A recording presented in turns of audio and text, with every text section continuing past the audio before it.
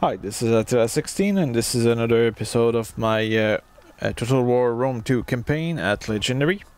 So I just had uh, a good victory against a rebel force of uh, Carthaginian and I killed 1000 and lost uh, 193.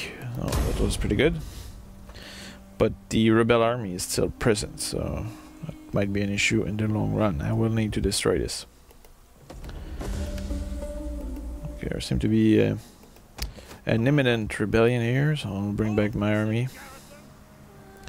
Now this army here might be a little too strong for uh, its role at the moment. Well here I should probably reinforce that army. I'm boosting their uh, melee to well melee effectiveness and here We'll increase the armor, which will protect those guys from projectile. And this fleet seems a little messed up at the moment. So we'll send them into that town. Now I do need to restore public order around here.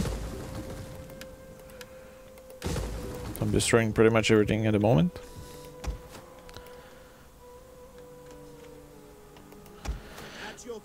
And now is it time to take action against that faction here?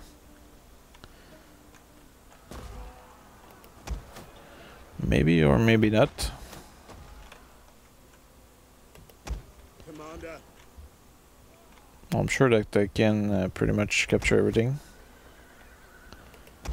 Ready for battle. I'm not sure if these are fleets or Okay, that's fleet. That's an army. And that's a fleet, so they have a lot of fleets. I should probably uh, take advantage of the situation and attack uh, that faction now.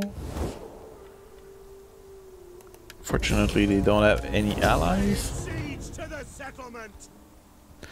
As you can see, the balance of power is largely in their favor, but their uh, troops are uh, mostly ships. So, hmm. Oh, I guess I can do this. Yeah, sure, that will be the next battle, so I'll see you there.